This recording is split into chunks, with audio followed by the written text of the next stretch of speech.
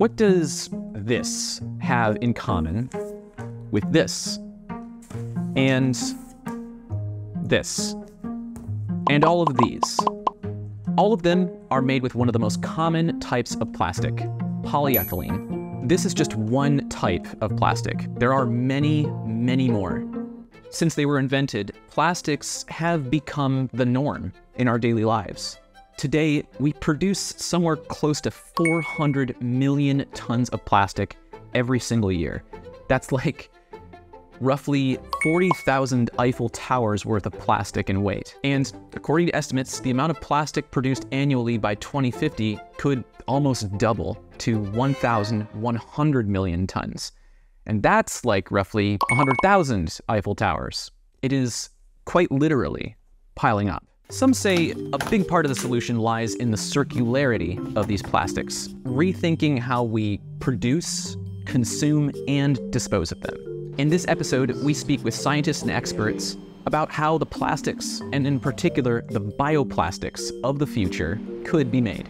I'm Mike DiGirolamo, and this is Problem Solved.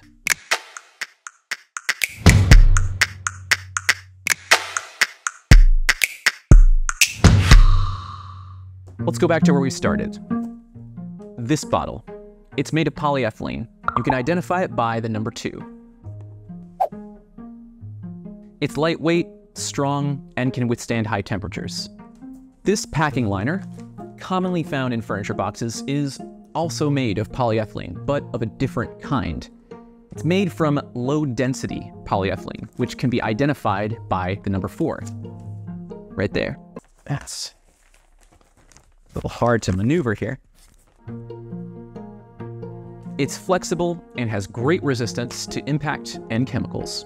Both high and low density polyethylene are technically recyclable. So let's suppose I have finished using this bottle. I drop it off in a bin so that it can end up by applying specific processes, becoming part of another bottle or an entirely new product. Sounds easy and simple, right? Wrong. Even though these plastics can be recycled, the reality is the vast majority of them are very much not.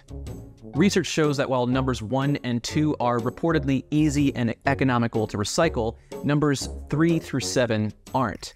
They are only sporadically recycled because of the cost and complexity of doing so. So while we might think of the problem as being solved by simply dropping off our plastic products in the correct bin, they are mostly not recycled.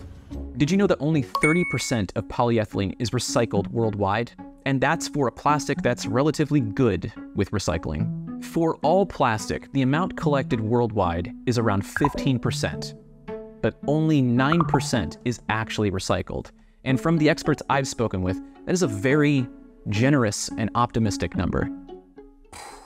So, what happens with all that plastic that is not recycled? Let's take this bottle there is a 50% chance that it will end up in a landfill where its toxins may leak into the environment. A 15% chance that it is incinerated, its gases being expelled into the atmosphere, and a 25% chance that it skips the waste management system altogether and ends up in uncontrolled dump sites. There, it can be burned in open pits or ends up in the environment where it leaks into the land, water, and even the atmosphere. Plastics can take up to 500 years to decompose, and even then, it never really fully goes away. It just gets smaller and smaller and smaller. Today, these teensy tiny plastic particles, also known as microplastics, are found everywhere on Earth, from the deepest part of the ocean to the highest mountain. That means that these items that I might have used for only a few days or even a few minutes will end up existing on this planet longer than I do. Plastics can be toxic, not just because of their petrochemical components, but also because of the additives they have. In fact, most of the toxicity from plastics comes from these added compounds. A 2021 study identified at least 2,400 substances used in plastic that are known to exceed the EU toxicity standards. So, what do we do? Some experts say bioplastics, plastics made from natural resources, could help us here. I'm here in Brisbane, Australia on the University of Queensland campus, and we're here to look at one of those bioplastics, PHAs. which can be made from organic material like sugarcane. PHA stands for polyhydroxyalkanoate. It's a type of fiber produced by microorganisms found in the environment, but also in labs like this one. And it is 100% biodegradable. We can be confident that it won't leave a legacy in any natural environment. It degrades easily in soil, fresh water, and uh, salt water. That's Stephen Pratt. He is the director of the ARC Training Center for Bioplastics and Biocomposites, doing pioneering research on the production of PHAs. What raw material do you use to make PHAs. So here in the centre, we are starting at looking at some of the easier feedstocks to process into PHA, including uh, sugar, cane sugar, and then byproducts from cane farming. But really, PHAs can be made from any organic carbon material. That got me curious. How did this turn into something that could be used to make this. The first step is fermentation. In this case, sugarcane is put into a bioreactor and fed to bacteria. The bacteria decompose the sugarcane and store the carbon in the form of PHA.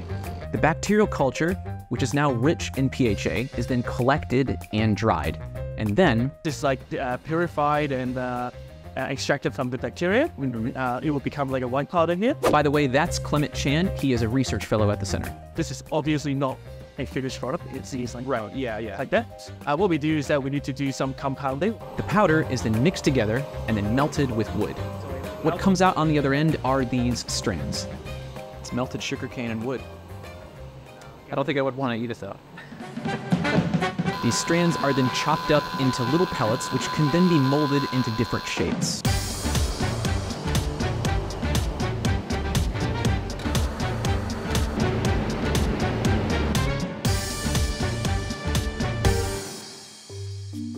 This box degrades in soil in less than two years.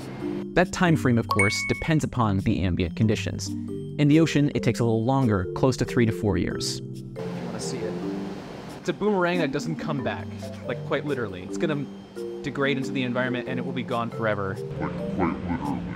It's gonna... The center works with partners and licenses out the technology to them. The team is also conducting research to overcome some of the shortcomings of the product. It is has a reputation of being relatively brittle. So some of the research and development is to try and make it uh, tougher, more elastic. So to make thin films out of PHA is still challenging, and that is one of the areas the world is looking to substitute to bioplastics. Achieving these properties in bioplastics can be a real challenge, and even more so without using additives that, as in conventional plastics, can be toxic. The ones used at the ARC Center don't have any toxic materials, but experts say such examples are pretty rare. There are some bioplastics um, that have been produced without those additives, um, but it's a very, very small amount of bioplastics that are produced usually at, at, small scale. That's Trisia Farrelly. For years, she has done research on plastic pollution. It's really hard for the consumer A to know what chemicals are in there because, in fact, we know now that um, bioplastics have pretty much the same, if not more,